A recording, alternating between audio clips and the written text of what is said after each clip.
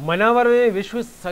जनसंख्या दिवस के शुभारंभ के साथ, और वाटर प्लांट और पैथोलॉजी लैब काउंटर मशीन का लोकार्पण किया गया। इस अवसर पर विधायक डॉक्टर हीरालाल अलावा एसडीएम दिव्या पटेल और तहसीलदार चंद्र सिंह ध्रुवे मौजूद रहे। दोनों उपकरण स्थापित होने से जनता को शुद्ध पेयजल प्राप्त होगा। साथ ही पैथोलॉजी लैब में बहुत सी जांचें संभव होंगी।